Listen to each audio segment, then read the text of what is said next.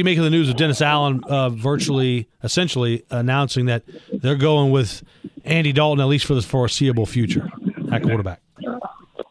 I don't think it changes anything. Uh, I mean, you look at from an offensive standpoint, the production uh, as far as what they've been able to do. I think you know uh, overall they want to have some continuity as far as offense, and that's what they've been able to have. I mean, now for uh, Andy and the offense, they know what they have to do if they want to be competitive in games, and that's eliminate the mistakes and the turnovers.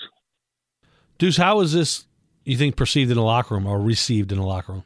I mean, guys know that hey, look, you have to go out and produce, and it's probably unfortunate for Jameis just because he was not 100% healthy to be able to go out there and produce. I mean, but at the end of the day, each individual know that they have to be held accountable, and you know, for them, they said, hey, look, we want to continue to do what we're doing offensively, but we must uh, do a better job of protecting the football. Deuce, do you think Dennis Allen might serve himself and the team better by just stepping back as a play caller and just focus on being a head coach and let either Ryan Nielsen or Kris Richard call the defense? I wouldn't necessarily say that. I mean, because there's plenty of other head coaches that call offense or defensive plays. So it's not like he's doing something that other coaches aren't doing across the league. And so if that was the case, then you might have yourself something. But uh, there are other coaches that are calling offensive plays or defensive plays across the league. And I'm not even going back and comparing it to Sean Payton. I'm, I'm talking about like right now, other coaches that are in their first or second year they're calling the plays.